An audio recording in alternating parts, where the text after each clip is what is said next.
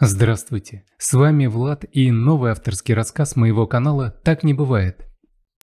Утро быстро входило в свои права, как бывает только летом, когда солнце начинает радовать землю очень рано. Наташа, как всегда, встала раньше своего мужа, Антона. Она давно привыкла к тому, что утро начиналось с тихой суеты на кухне, запаха свежесваренного кофе и мерного шелеста газеты которую супруг обычно читал за завтраком. «Доброе утро, Наташа. А ты все возишься с этой стряпнёй? Ну, кому это нужно? Лучше бы в кровати еще повалялась», – произнес Антон, войдя на кухню. Она как раз только что поставила на плиту сковородку для блинчиков. «Доброе», – ответила Наталья и, повернувшись к нему, добавила. «Вот, блинчики пеку, тебе к завтраку». Антон покачал головой и с презрительной гримасой уселся за стол, открыв газету. Наташа, ловко переворачивая блинчики, сразу поймала себя на мысли, что сегодняшнее утро будет не таким уж мирным, как казалось на первый взгляд. «Слушай, Наташ, а ты ведь, наверное, уже знаешь, что сегодня нужно сделать?» – спросил муж, откладывая газету в сторону и с интересом посмотрел на нее. Наташа грустно вздохнула. Откровенно говоря, его ежедневные задания ее уже порядком утомили. То одно, то другое. А ведь она ему не служанка. Да и основную работу никто не отменял. «Не знаю, Антош», — ответила Наталья, от души добавив порцию вишневого варенья в блюдце. Он усмехнулся. «Ну, раз не знаешь, что скажу. Тебе нужно пойти на кладбище, к моей матери. Это ведь было указано в завещании. Она хотела, чтобы именно ты ухаживала за ее могилкой после ухода. Наташа вздрогнула. Валентина Карловна возненавидела ее с первого дня знакомства. И за пять лет семейной жизни умудрилась сделать все, чтобы Наталья узнала ее неприятную сторону. «Почему именно я, Антон? Ты же знаешь, мы всегда не ладили. Я ведь предлагала ей уход, она отказалась. Сказала, что не хочет помощи от санитарки, умеющей лишь выносить утки. С грустью спросила Наташа.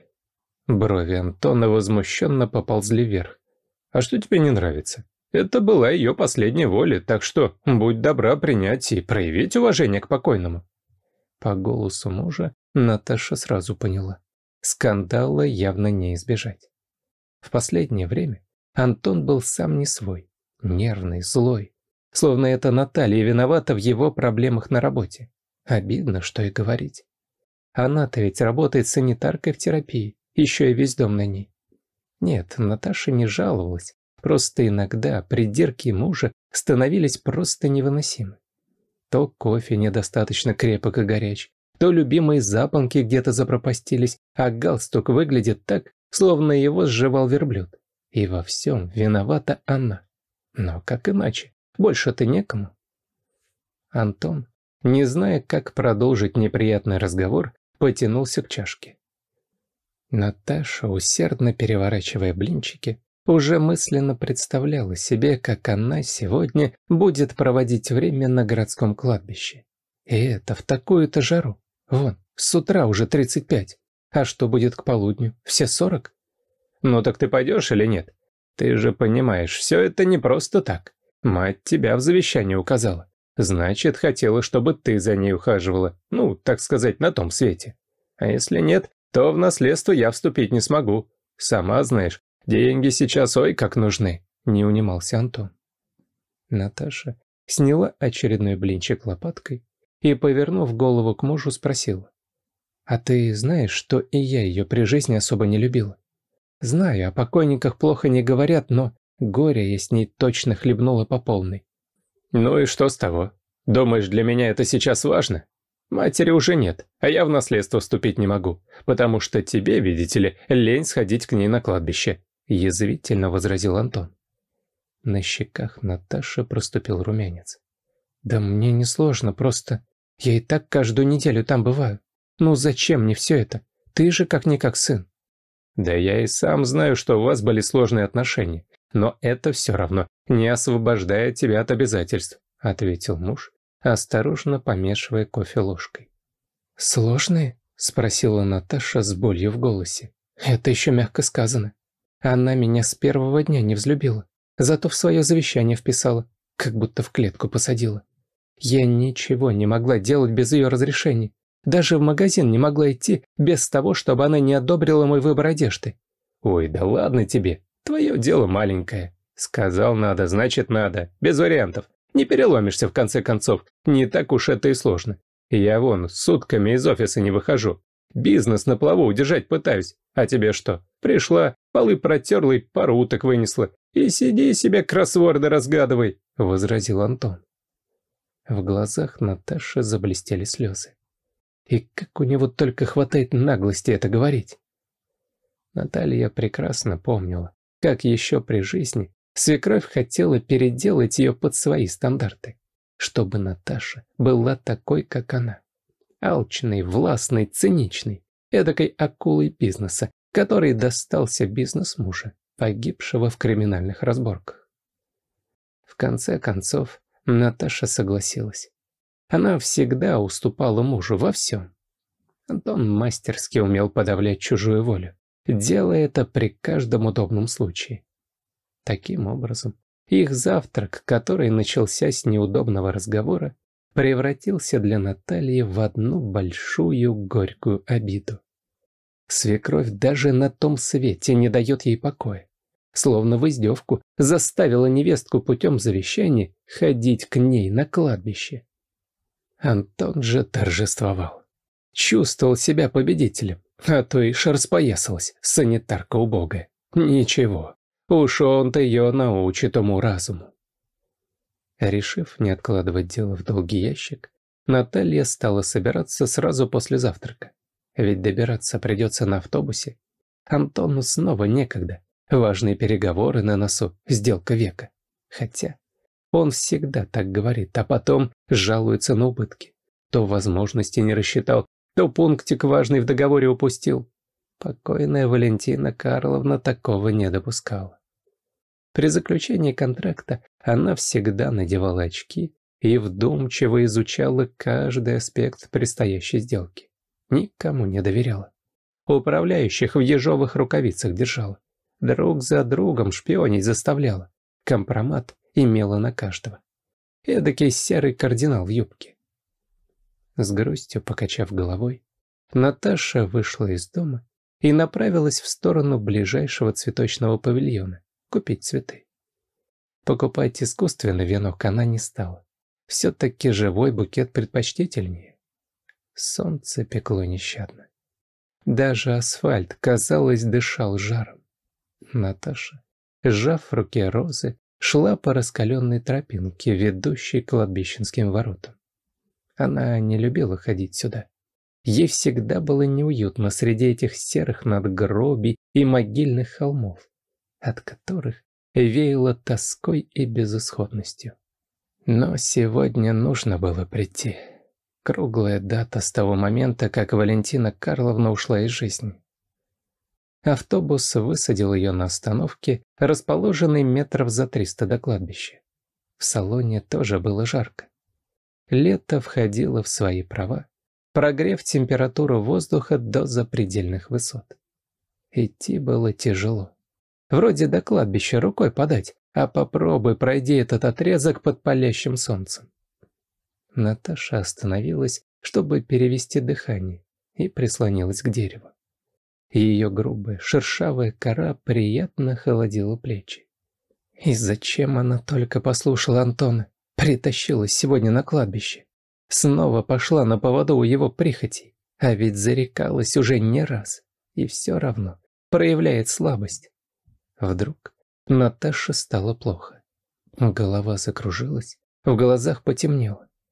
Она попыталась опереться о ствол дерева, но ноги подкосились. Наталья медленно села на землю, ощущая жар, проникающий в ее тело. «Ну вот и все, Наташенька, приехали». Пронеслось в ее голове.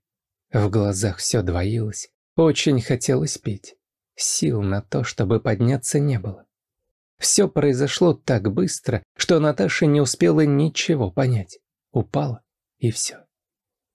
Не в силах подняться, она обреченно прикрыла глаза когда услышала чей-то тихий голос. «Девушка, вам плохо?» Ей стоило большого труда приоткрыть веки. И в тот же момент она увидела перед собой молодого, стройного парня, светловолосого, с голубыми глазами, которые смотрели на нее с искренней тревогой. «Что случилось? Вы, похоже, потеряли сознание на ровном месте», осторожно заметил незнакомец, облаченный в характерную униформу работника кладбища. «Солнце. Это все солнце», – прошептала Наташа, пытаясь вынырнуть из пучины липкого забытья. Молодой могильщик не стал долго думать и, быстро подхватив Наталью на руки, понес в сторону старушки. Парень уже догадался, что, скорее всего, она получила солнечный удар, когда шла в сторону кладбища по такому солнцу. Пожилой смотритель сориентировался вовремя. Пожилой смотритель сориентировался вовремя и тут же бросился на помощь. «Ого, а что ж такое случилось-то, Вань? Вроде молодая, хотя не мудрено. Такое пекло сегодня. Сам он еле-еле держусь, чтобы в обморок не рухнуть». Могильщик улыбнулся, а потом осторожно внес Наталью в помещение.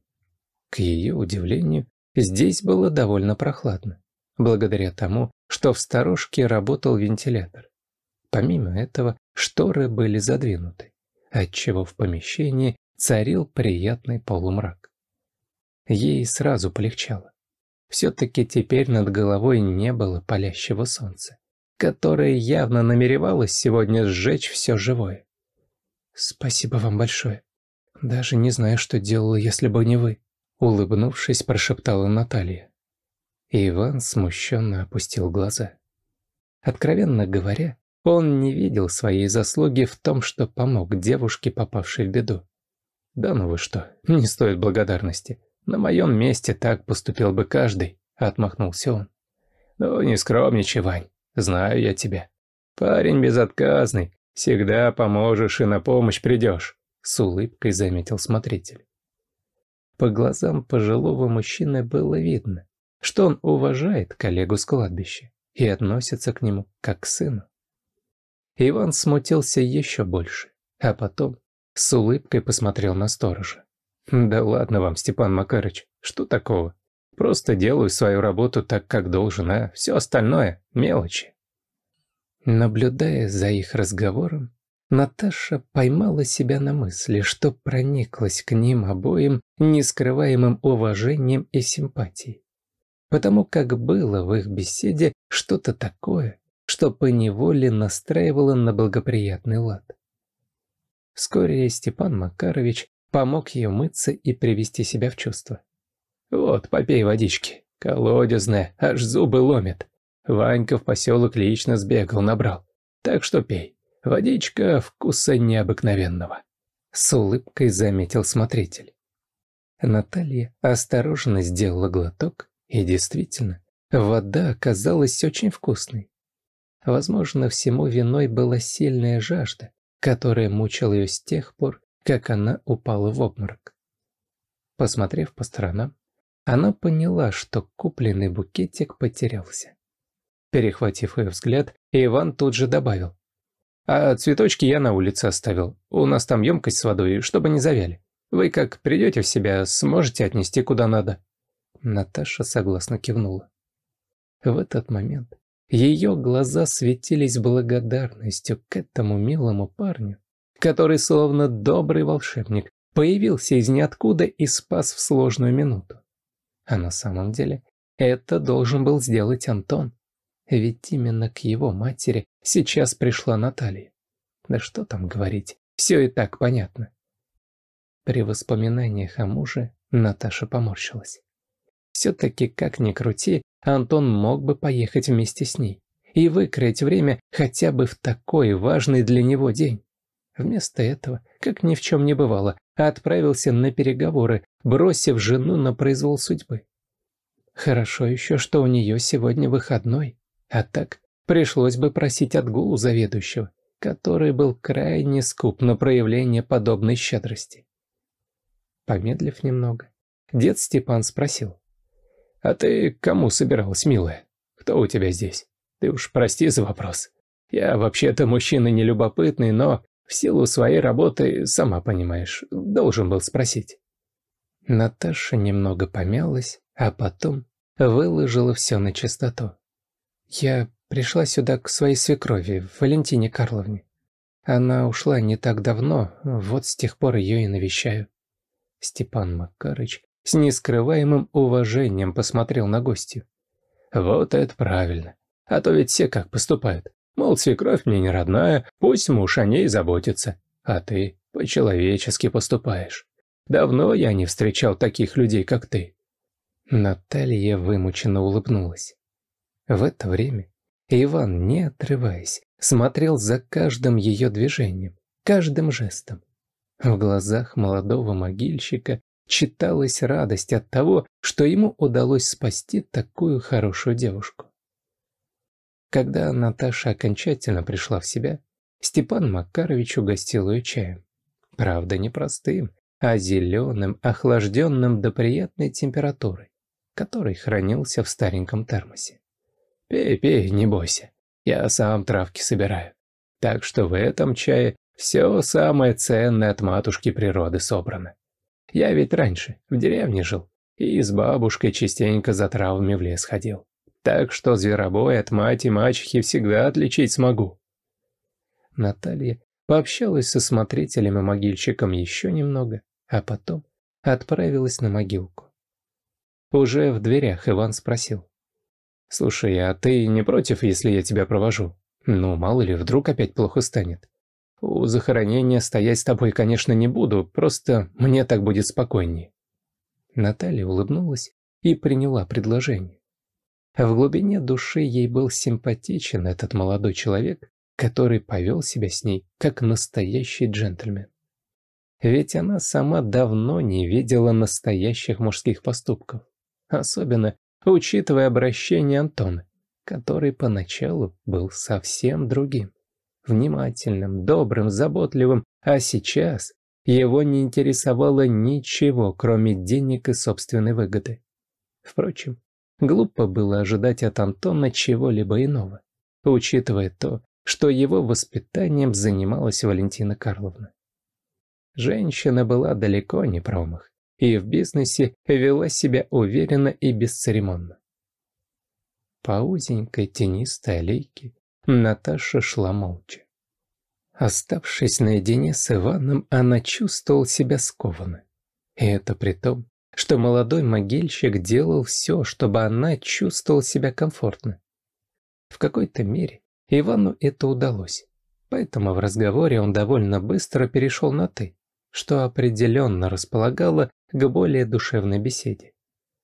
Вскоре впереди показался знакомый могильный холмик, с массивным деревянным крестом, сделанным на заказ в службе по оказанию ритуальных услуг. Подойдя к могилке, Наташа скорбно опустила голову. Иван заблаговременно остановился за несколько метров до этого места, чтобы не мешать Наталье сделать то, зачем она, собственно, сюда и пришла. Ваня работал на кладбище чуть больше трех месяцев, и за это время успел повидать многое. В отличие от остальных работников, он на дух не переносил алкоголь и никогда не принимал участия в распитии спиртных напитков, которые так или иначе появлялись на кладбище во время поминок по усопшим. Почти никто не знал, что Степан Макарович лично поспособствовал тому, чтобы Ивана взяли на работу. Глядя на то, как Наталья приводит в порядок могильный холмик, Ваня вдруг вспомнил случай недельной давности. Тогда он красил оградку на одном из захоронений по просьбе родственника, живущего за границей. Такая практика была давно распространена, поскольку не все имели возможность ухаживать за захоронениями родственников, находясь на значительном удалении. Вот тогда-то Иван и увидел женщину в возрасте, чье лицо частично скрывал платок черного цвета, повязанный на ее голове.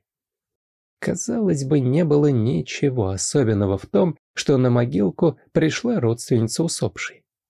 Проходя мимо Ивана по аллее, незнакомка посмотрела на него таким презрительным взглядом, отчего парню сделалось не по себе. «И чего это она на меня так уставилась, как будто ей в суп соли насыпал?» подумал про себя Иван и продолжил работу. Тем временем незнакомка в платке приблизилась к могиле Валентины Карловны и скорбно опустила голову. Затем подошла к кресту и, протерев фотографию носовым платком, на долю секунды прикоснулась к ней губами. Иван невольно поморщился. Нет, он, конечно, не раз видел подобное и считал это нормальным, но все-таки что-то в поведении именно этой женщины казалось ему странным. Вот не вязался ее образ с видом той, кто скорбит по ушедшему родственнику. В глубине души Иван и сам не мог объяснить, что он испытал в этот момент. Скорее всего, все это происходило на глубине подсознания, либо шло от самого сердца. Мало кто знал о том, что бабушка Вани была потомственной гадалкой и предсказывала судьбу с поразительной точностью. К сожалению, дар этот передавался только по женской линии, и на Иване закончился.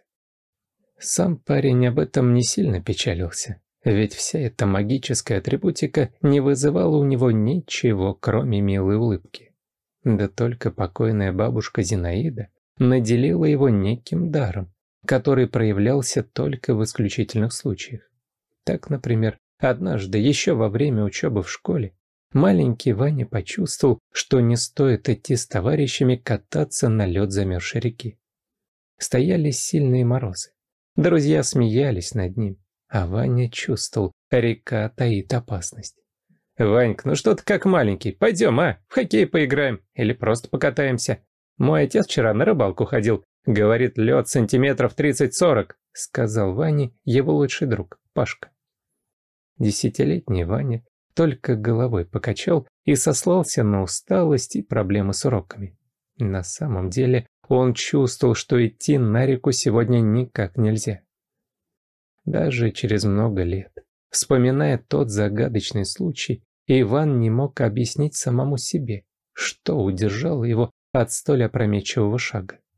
Многие называют это внутренним голосом, кто-то интуицией, но вот Иван буквально слышал в голове голос спокойной бабушки, которая просила его не ходить на реку. В тот день Ваня остался дома, несмотря на язвительные насмешки друзей. А уже через час мальчик узнал о том, что его товарищ Пашка провалился в полынью и едва не утонул, получив обморожение рук и ног.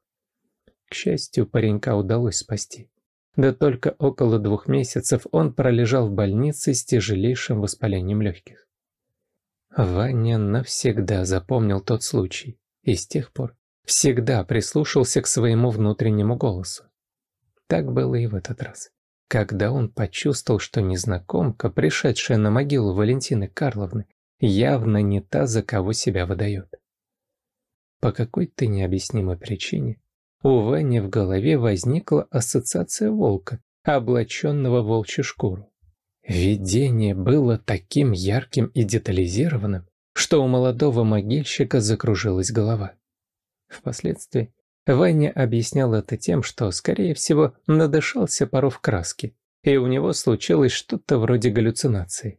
Такое случалось иногда, особенно когда красишь в жаркую погоду под открытым солнцем. «А может, сказать об этом Наташе? Или не стоит?» – спросил он сам себе.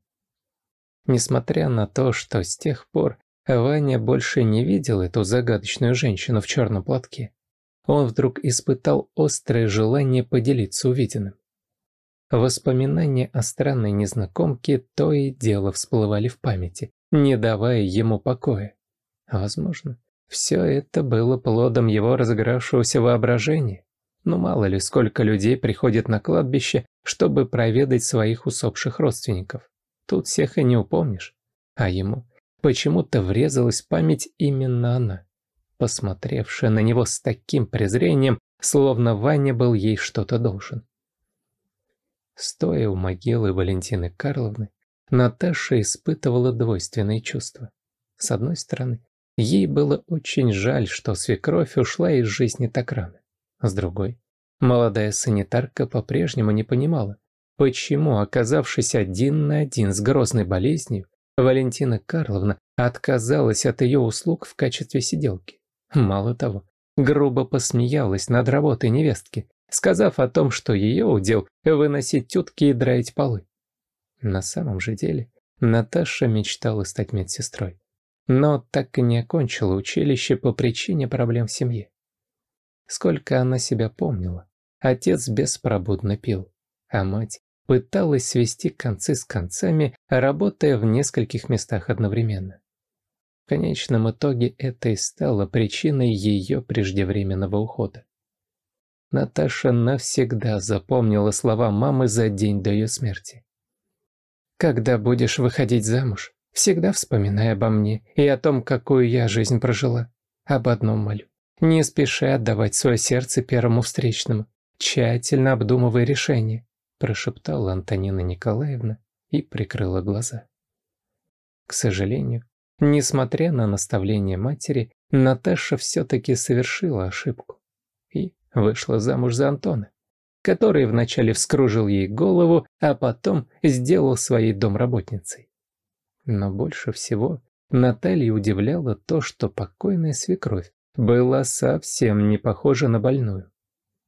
К удивлению всех знакомых, она слегла и провела несколько недель в постели, жалуясь на то, что не может подняться из-за сильной внутренней слабости. Наташа даже предложила привести на дом доктора из своего отделения.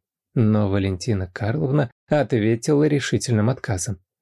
«Да нет, не нужны мне твои коновалы. Лучше обращусь к нормальному, проверенному врачу с частной практикой. Я, знаешь ли, привыкла к комфорту и не хочу, чтобы меня лечили на общих основаниях».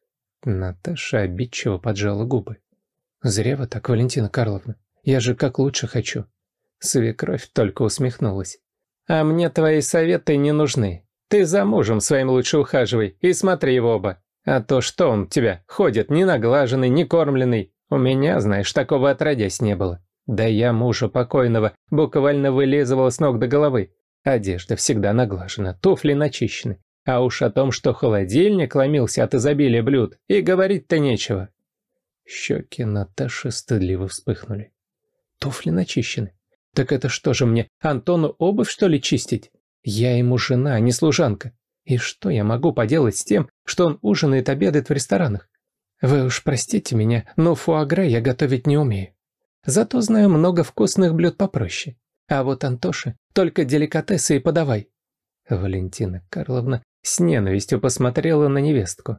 Глупая ты. Поживешь с моё, сразу поймешь, что мужика надо крепко держать в руках, а то уйдет к другой, и будешь потом слезы лить. Но поздно будет, ничем уже не поможешь». Слова свекрови навечно врезались в память. Наташа больше никогда не предлагала ей свою помощь. Конечно, на первый взгляд в этом не было ничего особенного. Миллионы женщин во всем мире сталкиваются с подобным и ничего, живут дальше. Тем более, что Наталья в силу своей работы привыкла к тому, что коллеги-мужчины чаще всего выступали в роли командиров. Так вышло и с Антоном, который сразу взял верх и принялся вести себя так, словно взяв жены Наталью, оказал ей большую услугу. Поскольку она приходила на могилу Валентины Карловны четвертый раз подряд, то само захоронение было в идеальном состоянии. Земля еще не осела, а на самом участке ни травинки. Достав платочек, Наташа решила в очередной раз протереть фотографию, а затем прикоснуться к ней губами.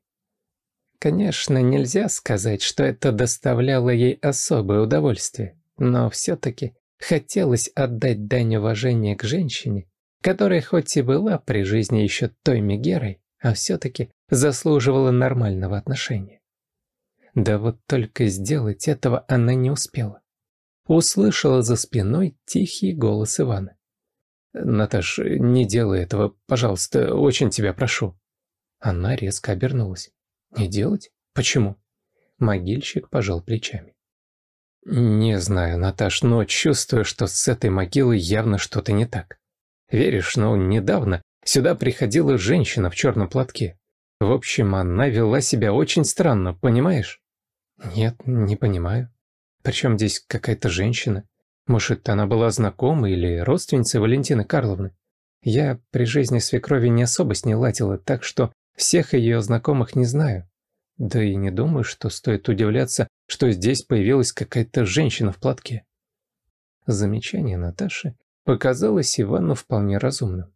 Но не мог же он сказать ей о своем внутреннем тайном даре, которым наделила его покойная бабушка. В понимании нормального человека все это звучало просто смешно. Ведь на самом же деле, ну нет никаких гадалок, пророков, медиумов. Но, несмотря на это, в памяти Ивана по-прежнему хранилось воспоминание о том жутком случае на реке, когда он чуть было не погиб, но в последний момент передумал и спас себе жизнь. Подумав немного, Ваня сказал. «Прости, Наташ, наверное, не нужно было вмешиваться. Поверь, я не специально». Наташа вымученно улыбнулась, но фотографию свекрови все-таки целовать не стала. Что-то в словах Ивана показалось ей странным и даже в некотором роде насторожило. Вообще вся эта ситуация изначально выглядела нелепой и абсурдной. Вот зачем Валентина Карловна указала в завещании, что именно Наталья должна ухаживать за ее могилкой. Ведь при жизни она этого не делала и считала невестку в лучшем случае прислугой, которая путем выгодного брака решила заполучить себе все нажитое ее сыном. Для многих оставалось тайной, что незадолго до свадьбы Антона свекровь настояла на том, чтобы он составил брачный договор. «Сынок, уж поверь мне на слово, так будет лучше. Мало ли что это нищенки уме. Все они такие, только и ждут богатенького, чтобы облапошить и оставить ни с чем. Уж я этих пигалиц знаю, повидала на своем веку». Антон пожал плечами. Иногда он просто поражался предусмотрительности своей матери, которая, словно опытная волчица, чувствовала опасность и умело обходила флажки, расставленные охотниками. «Ладно, мам, без проблем. Я и сам подумал что-то такое сварганить. Рад, что ты меня поддерживаешь. Действительно, мало ли как жизнь повернется. Вдруг разлюблю Наташу». На губах Валентины Карловны заиграла ехидная улыбка. На тот момент она была уверена, что все так и будет. Постояв еще немного у могилы свекрови, Наташа решила идти домой. Все-таки просьбу мужа она выполнила, несмотря ни на что. По лицу могильщика она сразу поняла, что он хочет ей что-то сказать, но стесняется. «Что-то не так, Вань?» Парень помялся для виду, после чего тихонько сказал. А можно проводить тебя до автобусной остановки? Если честно, душа у меня не на месте. Вот как узнал, что ты к этой могиле ходишь, так сразу покой потерял. Попомни мое слово, что-то с ней явно не то. Но что именно, сам не знаю. К сожалению, я не принимал участия в этих похоронах. Хоронили твою свекровь другие люди. У нас же здесь у могильщиков все поделено по секторам и районам. Порой мы друг друга по месяцу не видим. Встречаемся только в сторожке Макарыча». Наталья улыбнулась, но от предложения Ивана все же отказалась. «Прости, Вань, не обижайся. Лучше я сама как-нибудь пойду, ладно? Понимаешь, я замужем. А если супруг увидит меня с тобой, то обязательно устроит скандал. Мне бы этого совсем не хотелось». Могильщик понятливо кивнул, словно до этого не осознавал, что Наталья замужем. Конечно же, в этот момент ни Иван, ни Наталья даже не догадывались, что их встреча у могилы уже запечатлена на запись скрытой видеокамеры. Это маленькое, похожее на небольшой глазок устройство было хитроумно спрятано в нише соседней гробницы, откуда на могилу Валентины Карловны открывался очень хороший вид. И самым любопытным было то, что камеру установил совсем не Антон, а девушка по имени Катя, которая вот уже несколько месяцев ходила у него в любовницах. Именно этой рыжеволосой красотке захотелось понаблюдать за тем, как Наташа будет унижаться и приходить на могилу нелюбимой свекрови, чтобы отдать дань уважения. Нежесть в объятиях Антона, она то и дело говорила. «Я вот вообще ее не понимаю. Ну, Наташку твою. У нее что, совсем гордости нет? Да твоя мать обращалась не хуже, чем с прислугой. Если бы Валентина Карловна вела себя так со мной, я бы никогда в жизни не пришла к ней на могилу. Да мало того, на кладбище не появилась и на похоронах не присутствовала. Антон усмехнулся. Ну, люди бывают разные. А Наташка, она от природы служанка. Ты же, наверное, знаешь, что люди делятся на волков и овец. Так вот, она овца, а я волк, который привык брать от жизни все, что считаю нужным. Катя с восхищением посмотрела на любовника, который в этот момент показался ей олицетворением мужественности и силы. На самом деле Антон таковым не являлся и не обладал какой-то броской внешностью либо внутренней харизмой. Он был невысокого роста, с небольшим округлым брюшком и вечно потными ладонями, которые он всякий раз пытался вытереть о штаны перед тем, как пожать кому-либо руку. Возможно, закончи Антон театральное училище, ему бы обязательно доставались роли мелких негодяев, способных на небольшую или большую подлость.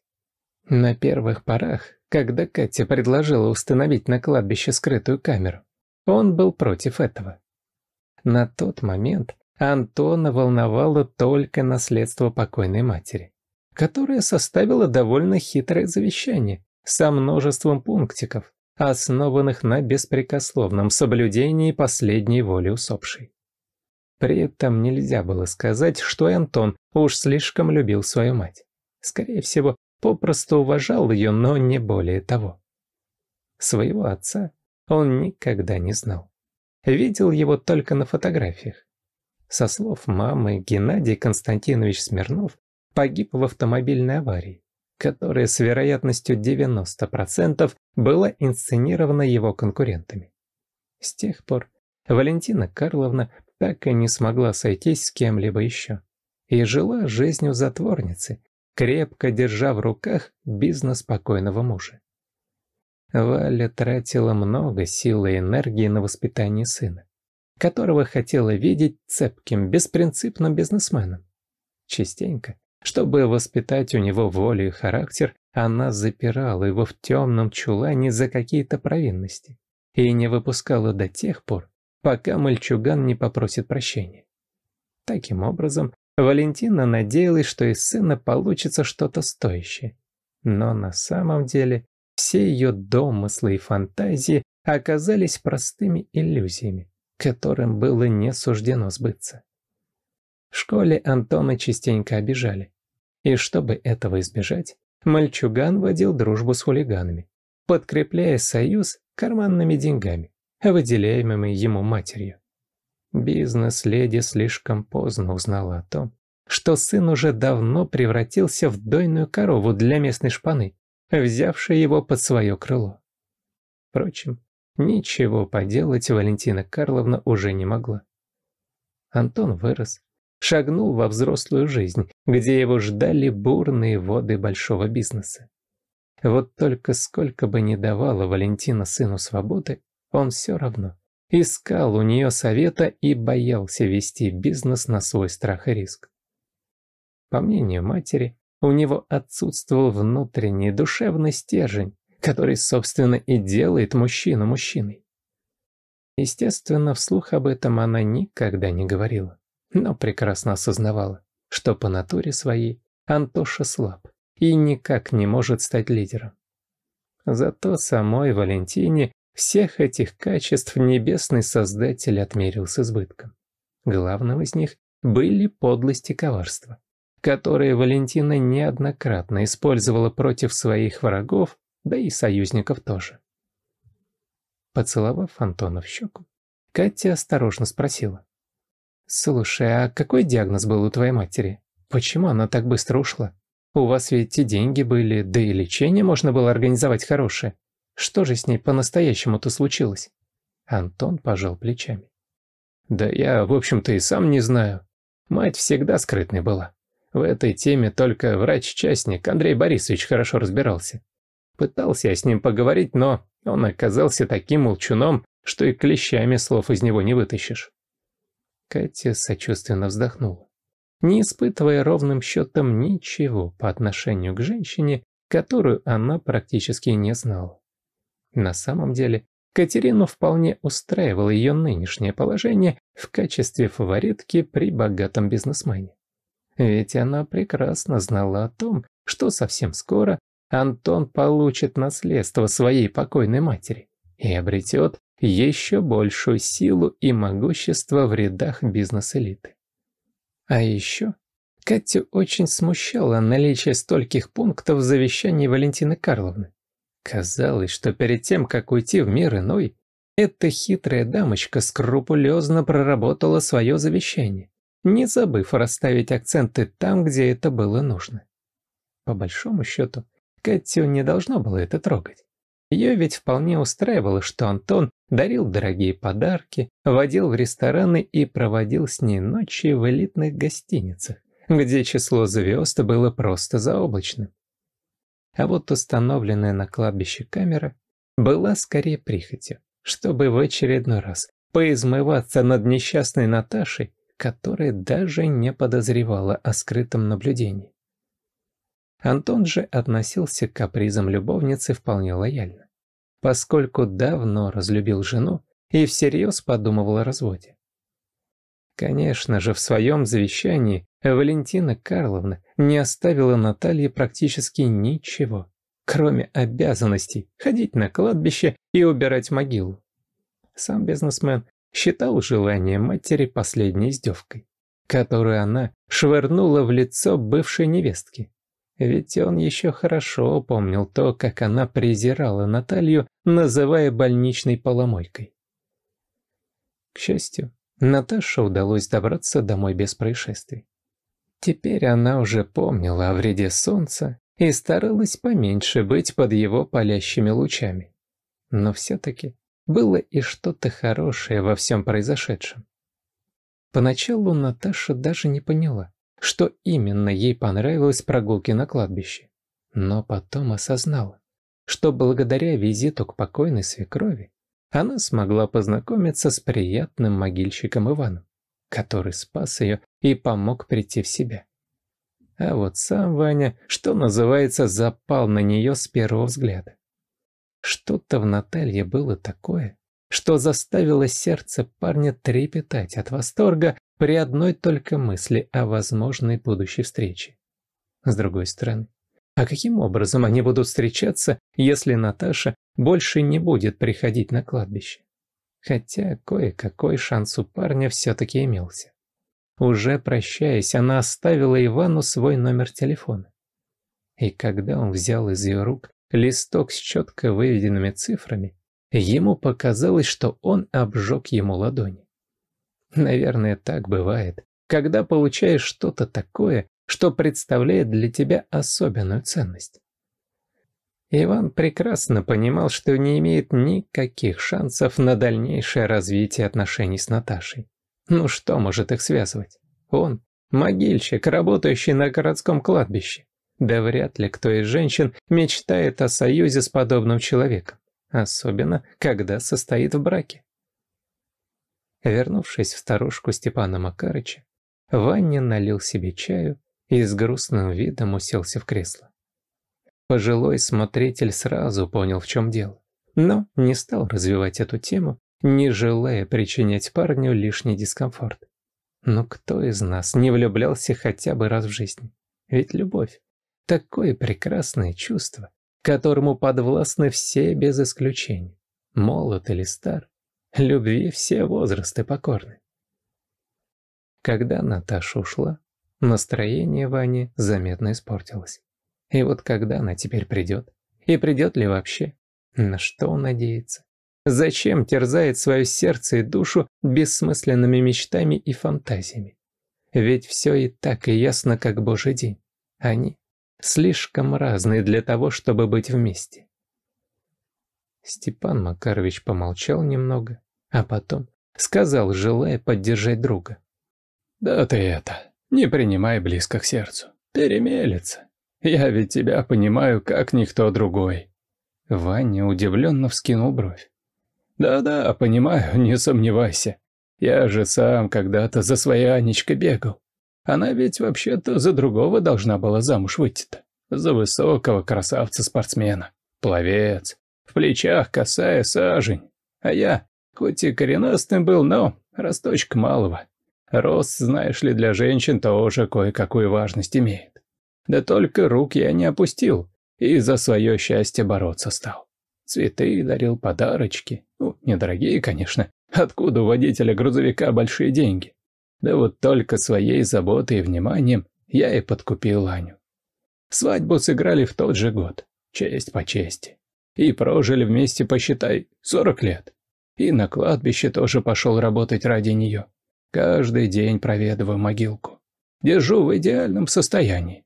Цветочки любимые посадил, а то ведь разве сюда наездишься? Поливаю их дважды в день, слежу за чистотой. Рассказ пожилого смотрителя задел в сердце Ивана самые нежные струны из всех возможных. Для себя он давно считал Степана Макаровича другом или даже отцом. Ведь именно сторож спас его, когда он, будучи уличным бродягой, подхватил сильный бронхит и чуть было не отдал Богу душу, не имея возможности купить лекарств. Степан Макарыч нашел Ваню на автобусной остановке, когда тот, мучаясь от сильного жара, балансировал на грани жизни и смерти. «Эй, браток, ты как?» Может, тебе помощь нужна какая? Давай, я тут недалеко живу. Помогу, не сомневайся». Иван с трудом поднял веки и с удивлением посмотрел на пожилого мужчину, в глазах которого увидел действительно желание помочь. «Да мне бы лекарств немного, а то денег совсем нет. Не могу работать. В социальный фонд пробовал было обратиться, а там как на грех все закончилось. Одна зеленка и йод остались. Мне бы антибиотик какой или микстуру. С трудом выдавил Иван. Степан Макарович не стал задавать лишних вопросов, а сразу пошел в аптеку. Он не спрашивал, каким образом Иван оказался на улице и почему у него нет дома. Все выяснилось немногим позже, когда Ваня пришел в себя и почувствовал долгожданное облегчение. Добрый, наивный парень стал жертвой банды так называемых черных риэлторов которые с помощью красавицы Инги заставили его переписать квартиру на свою избранницу. Слушая сбивчивый рассказ, Степан Макарыч поражался наивности и доверчивости Ивана. «Вань, ну ты хотя бы посоветовался с кем-нибудь, к нотариусу бы сходил, ну, такому, что дает независимую оценку, или к юристу. А ты вон как, просто взял и подмахнул». Иван стыдливо опустил глаза. Да уж, Степан Макарыч, опоили меня чем-то. У меня вообще-то внутренний инстинкт самосохранения хорошо развит, а тут словно уснул, понимаешь? Вот вроде осознаю, что делаю, что-то нехорошее, а остановиться не могу. Она ведь Инга знала, чем меня на крючок подсадить.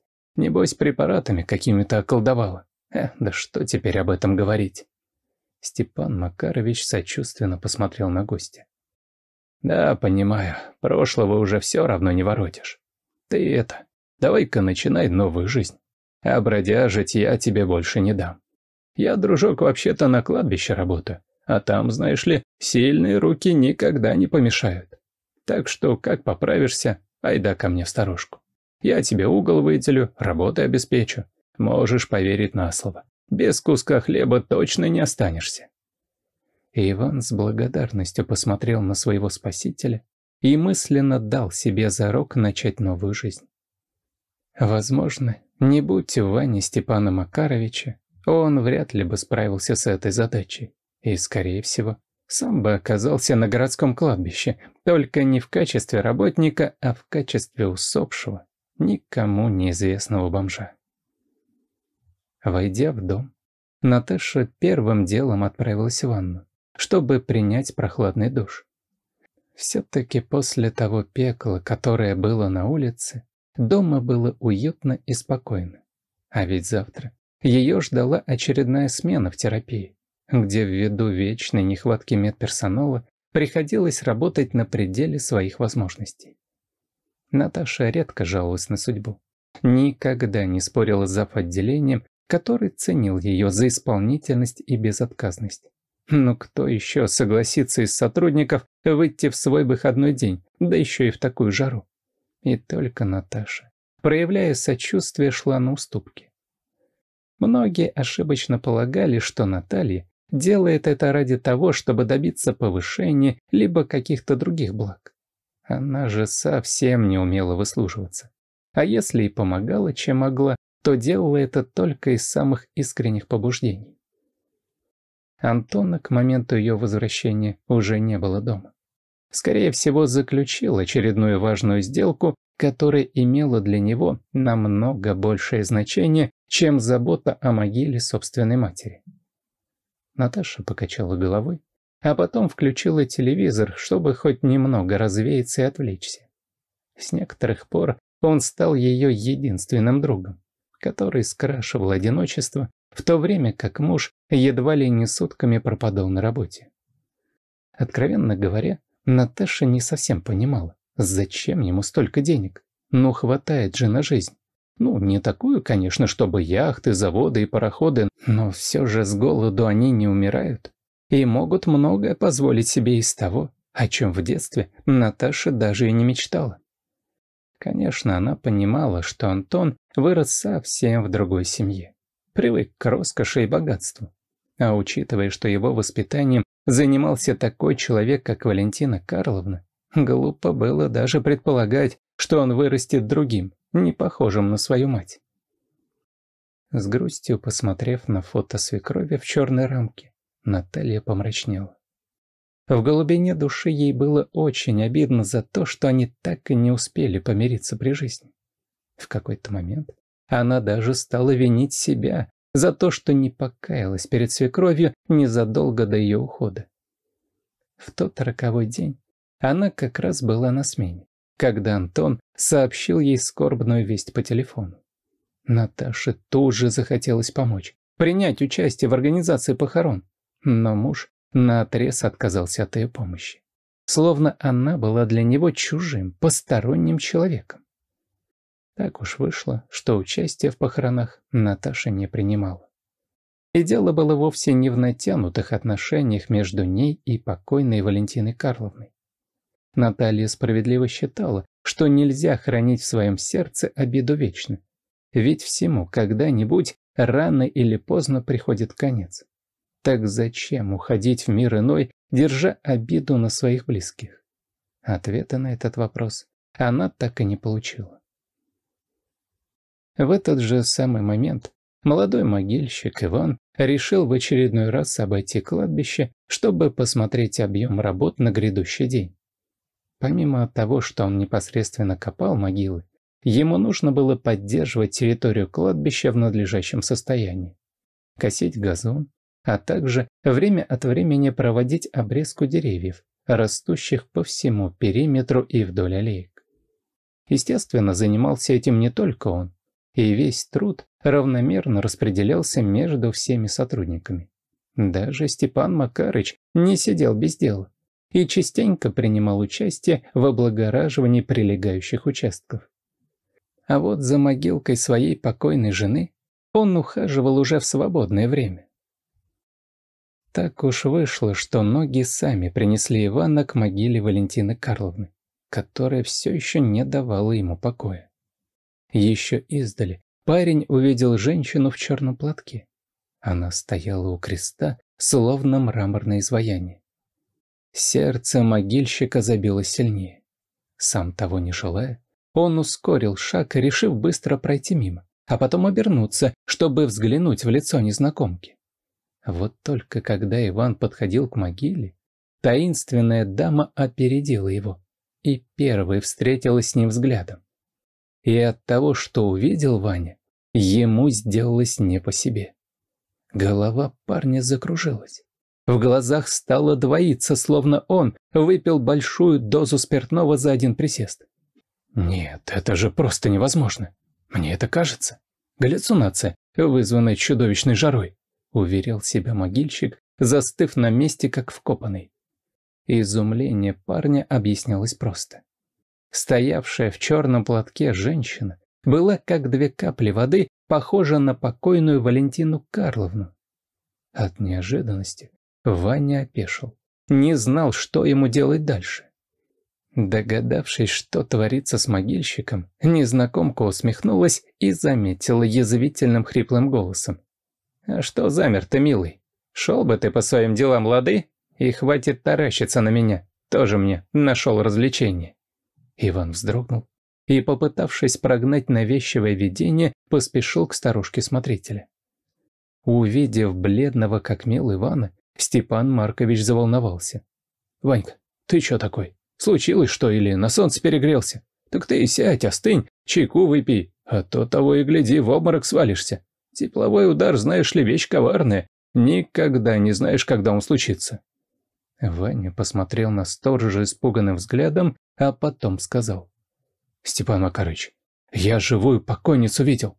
У той самой могилы, куда приходила сегодня Наталья». Макарыч с сомнением покачал головой. «Да не, Вань, вряд ли. Мне кажется, ошибся ты. Глуп все это. Я надеюсь, ты не хочешь сказать, что это ее сестра-близнец. Такого уж просто не бывает». Но Иван упорно стоял на своем. А еще он настойчиво просил смотрителя вызвать полицию. Пожилой мужчина с тревогой посмотрел на могильщика. «Вань, ты точно не перегрелся на солнце? Ну что я им скажу? Что сотрудник увидел на могиле двойника усопшего? Да смешно, ей-богу. Да мало что смешно. Меня же еще в ложном вызове обвинить могут. А это, знаешь ли, уже наказание. Административное, правда, но все равно ответственности с меня не снимет. Иван с тоской посмотрел на смотрителя, но от своих слов не отказывался. Мало того, схватил трубку стационарного телефона, чтобы лично позвонить в полицию. Вот тогда-то Степан Макарыч и понял, что с Ваней творится что-то странное. Ведь еще утром он был абсолютно нормальным, а сейчас напоминал сумасшедшего, который увидел призрак и считает его живее всех живых. Ивану стоило больших сил объяснить дежурному, что произошло и почему ему требуется помощь. К счастью, Ване повезло. Полиция появилась на кладбище через несколько минут, ведь патрульный автомобиль как раз находился в этом районе. Выслушав сбивчивый рассказ могильщика, полицейские усмехнулись и пошли вслед за ним к могиле Валентины Карловны. По большому счету, правоохранители даже не знали, с чего начать. Но когда незнакомка в черном платке увидела сотрудников, она тут же бросилась на утек, вызвав у них серьезные подозрения. Конечно же, убежать далеко женщина в возрасте уже не могла и была задержана в ту же минуту. Поначалу полицейские приняли ее за сумасшедшую, но, увидев поразительное сходство с портретом, установленным на кресте покойной Валентины Карловны, все встало на свои места. Испуганно глядя на стражи порядка, женщина-двойник покойной тут же выложила всю правду, такой, как она есть. А еще сказала, что готова сделать чистосердечное признание в обмен на снисхождение при вынесении приговора. «Какого еще приговора? Вы о чем, дамочка? Мы вообще-то вас ни в чем осуждать не собираемся», с трудом сдерживая волнение, сказал лейтенант. Но то, что сказала незнакомка чуть позже, повергло полицейских в шок. На самом деле, женщиной в темном платке оказалась никто иная, как мнимая покойница, которая инсценировала собственную смерть, чтобы избежать возможного наказания. Все это выяснилось немногим позже, когда Валентина принялась рассказывать о своем прошлом. Много лет назад После гибели Геннадия Константиновича Смирнова она, будучи его горничной, решила выдать себя за жену бизнесмена. На тот момент Антону был всего год, а мать его умерла при родах. Валентина работала у бизнесмена уже третий месяц и втайне мечтала стать его женой или на худой конец любовницей. Но когда Валя узнала, что Геннадий погиб в результате подстроенной катастрофы, она поняла. Это ее шанс. Стоит только догадываться о том, сколько усилий пришлось приложить Валентине, чтобы провернуть эту хитроумную аферу. На самом деле, она сама приехала из провинции, искала счастье в большом городе, мечтая выскочить замуж за богатого бизнесмена. Но когда судьба преподнесла ей такой подарок, она догадалась, терять его нельзя ни при каких условиях. Взяв себе чужую фамилию, поменяв статус, Валя стала распоряжаться наследием покойного бизнесмена так, как ей вздумается. Параллельно хитрая мошенница выдала маленького Антошку за собственного сына, который все это время даже не подозревал о том, что его растит не родная мать. Когда Антона вызвали на допрос и пролили свет на ситуацию, бизнесмен едва не лишился чувств от шока. Все это время он считал свою маму олицетворением внутренней силы и житейской мудрости. А на самом деле Валентина Карловна оказалась обычной преступницей, решившей забрать себе чужую жизнь, роскошную и богатую. К сожалению, случай с кладбищем не прошел для Антона даром. А ведь в тот же день полицейские нашли скрытую камеру, установленную на соседней могиле. Вскоре оперативники довольно быстро вышли на Катерину, которой пришлось сознаться в своей связи с Антоном Смирновым. Естественно, ни о каком уголовном оказании для нее речи не велось. Да вот только Наталья уже другими глазами взглянула на своего мужа. А еще осознала, что на протяжении нескольких лет ее унижала и пыталась учить жизни преступница в лице Валентины Карловны. Через неделю после задержания Наташа подала на развод. Поначалу Антон сопротивлялся, пытался отыграть ситуацию назад, но с Натальей было довольно. Уж слишком долго эта семейка измывалась над ней, делая все, чтобы унизить и самоутвердиться за счет других. Уже после развода, получив вожделенную свободу, Наташа лично поблагодарила Ивана который в самом начале их знакомства предупреждал о таинственной женщине в черном платке, приходившей на могилу свекрови. Как оказалось, Валентина Карловна разыгрывала этот спектакль совсем не случайно. Кто-то из дальних родственников Геннадия Смирнова вышел на ее след и решил вывести на чистую воду. Тогда же Валентина и выдумала историю о своей мнимой болезни чтобы без последствий уйти в мир иной и окончательно стереть о себе все следы.